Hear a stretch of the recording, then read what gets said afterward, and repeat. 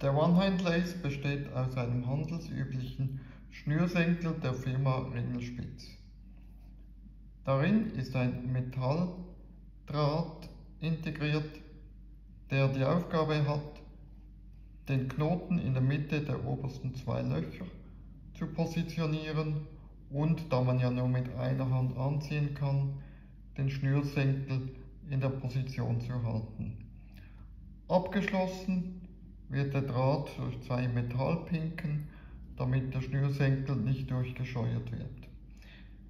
Für den linken und den rechten Schuh gibt es zwei verschiedene Schnürsenkel.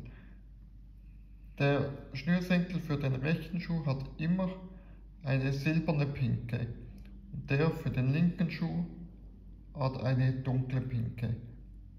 Es ist wichtig, dass die Schnürsenkel immer in den richtigen Schuh eingezogen werden.